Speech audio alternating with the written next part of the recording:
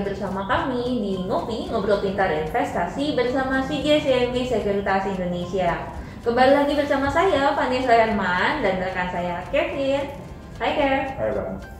Nah, kita berdua kali ini akan uh, bahas lagi ya tentang pastinya teknikal nih. Ya. Nah, tapi mungkin kali ini agak beda nih, Kev. Ya. Jadi kali ini nih kita mau bahas dari segi uh, kita mereview nih, Kev. Hmm. Jadi kita kan memang untuk nasabah itu ada beberapa kelas teknikal ya. Ya. Nah, biasanya nih dari pertanyaan-pertanyaan yang ada setelah kita review, Ya. nah ternyata nih banyak banget nih, Kev. Jadi misalkan nih kita Hmm. bahas uh, satu saham tertentu gitu Ya. ya. Nah, kemudian ada sebagian orang mengatakan dari segi uh, saham tersebut sedang ada di tren uh, positif misalkan uh, tren uptrend gitu ya. ya, Heeh. bullish ya. Tapi sebagian lagi mengatakan oh enggak, ini trennya nih justru lagi turun Ya, turun. atau bearish kayak Ya, gitu ya. ya, ya. Nah, padahal ini ternyata adalah uh, ada perbedaan parameter uh, timeline yang mereka Ya. gunakan seperti itu Betul. ya. Nah, ini karena itu menarik banget nih Kev untuk Ya. kita bahas ya. Ya. Karena balik lagi ternyata tergantung persepsinya nih kita pakai yang mana gitu ya. Nah, jadi uh, kita akan bahas tentang itu nih Kev. Hmm. Jadi untuk teman-teman yang pengen tahu ya Kev ya. Hmm. Kira-kira parameter waktu dalam chart itu tuh seperti apa sih? Nah, sebenarnya benar Van yang apa yang tadi bilang eh, Fanny bahwa sebenarnya setiap orang mempunyai eh, pandangan berbeda. Itu tergantung dari parameter waktunya. Mhm. Nah, jadi kalau kita perhatikan dari parameter tersebut lah kita memberikan kesimpulan bahwa ini akan bullish, ini akan eh, bearish. Nah, parameter sendiri banyak banget macam-macamnya Pak. Seperti Mhm. itu.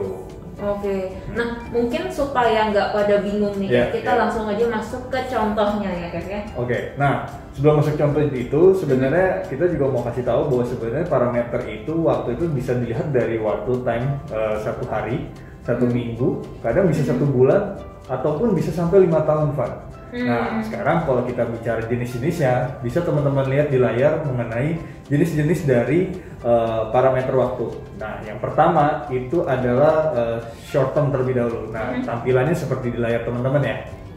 Halo guys, di layar teman-teman di sini ada saham BBCA dan kita akan membahas dengan eh, parameter eh, waktu di mana yang pertama kita akan bahas dengan parameter short term.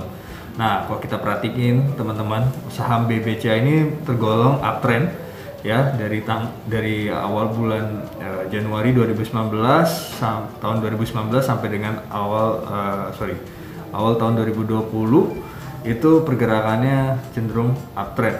Nah, di sini kita mau eh, bahas juga bahwa secara pergerakan ini kalau kita perhatikan untuk candle chart ini untuk short term memang range-nya itu hanya satu tahun karena lebih eh, pendek dan juga kalau kita perhatikan untuk eh, eh, candle candlenya itu harus daily ya. Jadi kalau kita melihat dari parameter uh, chart secara short term biasanya para trader itu fokusnya kepada uh, candle uh, one days ya. Uh, sorry maksud saya one day oke. Lalu juga uh, range-nya dari uh, let's say satu tahun ya kurang dari satu tahun atau satu tahun pas itu pola dari short term. Nah kalau kita perhatikan pola dari short term ini cenderung uh, menguat ya. Eh, dari uh, awal Januari 2019 sampai dengan uh, let's say ya awal Desember ya. Eh maaf maksud saya awal Januari tahun 2020 ya. Nah polanya seperti ini. Disebutnya parameter waktu short term Oke, nah jadi kalau kita ambil kesimpulan sedikit Iya. nih ya, Iya. jadi untuk short term itu adalah uh, parameter yang kita gunakan dalam daily chart ya. Betul banget. Dan ini biasanya uh, maksimal kita gunakan adalah satu tahun ya Hmm. untuk waktunya sendiri. Hmm. Nah itu tadi yang short term nih Kev. Betul. Kalau yang medium term kira-kira seperti apa? Oke, nah untuk medium term teman-teman bisa lihat di layar teman-teman ya untuk penjelasan dari medium term. Halo guys, nah sebelumnya tadi kita udah bahas tentang uh, parameter short term. Nah sekarang eh, yang kedua adalah parameter yang fokusnya kepada medium. Nah kalau medium ini seperti di layar teman-teman masih sama sahamnya BBCA. Namun yang menariknya pada saham BBCA ini walaupun kalau kita perhatikan secara jangka eh, eh, medium itu eh, masih menguat namun di sini candlenya itu yang berwarna hijau dan merah itu kita kliknya di weekly jadi ini mengkalkulasi bahwa selama seminggu kira-kira candlenya berbentuk uh, dalam waktu uh, satu kali ya. Jadi kalau warna hijau ini sebenarnya dalam bentuk weekly ya. Nah di sini kalau kita perhatikan untuk range-nya itu kalau di teori selama tiga tahun. Nah ini mengindikasikan bahwa sebenarnya polanya masih cenderung uh, uptrend untuk saham BBCA dari dari tahun 2017 sampai dengan tahun 2020. Nah ini sebagai gambaran bahwasannya dari segi uh, medium term, let's say range-nya selama tiga tahun, ini masih tergolong uptrend. Dan kalau kita perhatikan untuk lebih ringkasnya lagi, biasanya para uh, trader yang lebih mid term, dia fokusnya kepada weekly ya. Jadi caranya bisa teman-teman lihat untuk mengklik one week. Nah nanti semua uh, masuk dalam candle yang one week seperti itu. Inilah uh, per, uh, perbedaan antara parameter di midterm maupun juga di short term seperti itu. Oke, nah jadi untuk short term tadi kita udah bahas, yeah. Ya. Kevin juga udah bahas ya. Hmm. Tadi menggunakan daily chart. Nah ternyata kalau untuk medium term ini teman-teman bisa pakai yang namanya weekly chart ya. Betul. Nah yang terakhir nih Kev, kalau hmm. misalkan kita mau tahu uh, long term chart itu seperti apa sih? Hmm, Oke. Okay. Kira-kira parameter yang digunakan yang mana Kev? Oke, okay, nah untuk long term chart bisa teman-teman lihat seperti di layar teman-teman ya. Halo guys, nah untuk yang uh, parameter waktu terakhir itu ada parameter long term di mana kalau kita perhatikan candlenya itu bukan daily, weekly tapi monthly.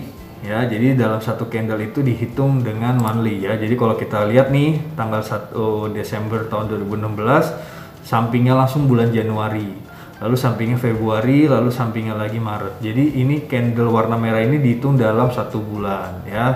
Bukan satu daily uh, bukan dalam daily maupun dari ataupun dari weekly. Nah, kalau kita perhatikan uh, range dari long term itu biasanya lima tahun, teman-teman. Jadi kalau kita lihat dari tahun let's say tahun awal tahun 2020 atau akhir tahun 2019 sampai dengan tahun uh, eh, 2015 pergerakan dari saham BBCA tuh uptrend ya. Jadi lebih uh, masih pergerakannya naik ya. Di sinilah indikasi bahwa sebenarnya saham BBC ini secara long term masih cukup oke. Okay pada range area uh, 2015 sampai dengan perteng atau uh, awal dari tahun 2020 ya. Nah, di sinilah kita melihat bahwa sebenarnya secara long term saham BCA masih kategori uptrend. Inilah dimaksud dengan parameter kita melihat dari segi parameter long term. Oke, jadi kalau saya uh, simpulkan sedikit ya. Jadi yeah. untuk long term ini fokusnya pada monthly chart. Hmm dan dia menggunakan periode lima tahun ya untuk ukuran makronya seperti itu. Nah ini agak beda dengan yang tadi uh, Kevin bahas yeah. di medium term itu yeah, perkiranya sekitar pakai tiga tahunan ya yeah. untuk periodenya. Nah lalu uh, untuk orang-orang yang menggunakan uh, long term ya Kevin, hmm. berarti untuk uh, fluktuasi harga di tengah-tengah itu berarti mereka nggak terlalu terpengaruh oleh yeah, itu gitu ya. Banget. Nah ibaratnya kayak si Warren Buffett ini ya, yeah. benar-benar jangka panjang sekali seperti yeah. itu ya. Karena uh, yang minor ibaratnya tuh itu hanya uh, sekelebat aja nih yeah. gitu ya. Short term lebih ke short term hmm, banget. Hanya short term gitu ya, tapi secara garis panjangnya itu atau garis besarnya itu mereka tetap melihat itu saham tetap boleh seperti itu ya. Betul. Nah, bisa dijelasin nggak nih Kak? Kan terus kalau misalkan kita tahu nih ya, hmm. ada namanya istilah uh, major trend, hmm. kemudian secondary trend, hmm. dan juga minor trend nih Kak. Hmm. Kira-kira apa aja sih bedanya dan apa hubungannya nih kira-kira? Nah, teman-teman tadi kita udah bahas di long term itu uh, dalam arti sangat cukup panjang range-nya. Nah, di situ juga kalau kita perhatikan ada istilah namanya major trend uh, secondary trend dan minor trend. Nah, tampilannya seperti di layar teman-teman ya untuk lebih tahu detailnya lebih dalam. Halo guys, nah hari ini kita akan bahas juga yang terakhir adalah dari sisi uh, long term, di mana long term ini punya let's say uh, teknis ya, teknisnya tersendiri. Kalau kita perhatikan ada saham BBCA. Nah di sini kalau kita lihat garis berwarna hijau ini secara long term disebutnya major trend teman-teman di mana kalau kita perhatikan major trend dari saham BBCA secara daily ya ini menguat uptrend. Nah, itu disebut major trend ya. Lalu juga di sisi lain kita lihat ada secondary trend. Secondary trend lebih which is lebih lebih ke arah pendek ya, jangka pendek di mana kalau kita perhatikan gambarnya secondary trend ini lebih kepada bukan bullish tapi bearish turun ya let's say dari 24.000 sampai ke level 20-an, 20 ribuan. Nah, ini disebut secondary trend. Lalu juga kalau kita kerucutin lagi lebih dalam lagi, lebih detail lagi, ada disebutnya di bawah secondary trend, ada disebut minor trend. Ini lebih short banget daripada secondary trend. Di mana uh, turun ya dari tanggal 23 April 2018 sampai dengan uh, 30 atau du, uh, ya 27 April ini polanya masih turun. Oke. Okay?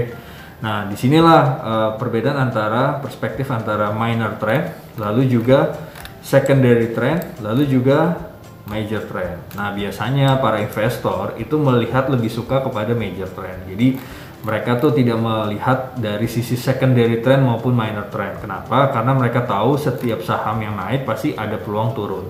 Nah, peluang turunnya itu kita harus pantau juga dari sisi jangka panjangnya. Makanya disebut major trend di mana kalau kita melihat jangka panjangnya saham ini masih cenderung menarik untuk menguat. Nah, ternyata kalau kita perhatikan kalau misalnya mereka fokus kepada secondary trend dan minor trend mungkin let's say mereka taking profit di sini padahal ke depannya masih ada peluang naik. Nah, karena apa? Karena para investor yakin bahwa perusahaannya yang mereka beli itu adalah peluang masih oke, okay, masih punya uh, growth dari sisi laporan dan sebagainya dan itu tercermin pada uh, technical analysis ya. Jadi Itulah uh, mengapa kadang orang investor ini ketika saham lagi turun mereka tidak panik selling. Karena kenapa? Karena mereka tahu bahwa secara major trend masih sesuai dengan uh, perkiraan mereka yaitu peluang naik masih cukup terbuka.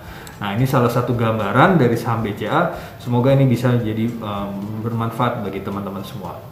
Terima kasih.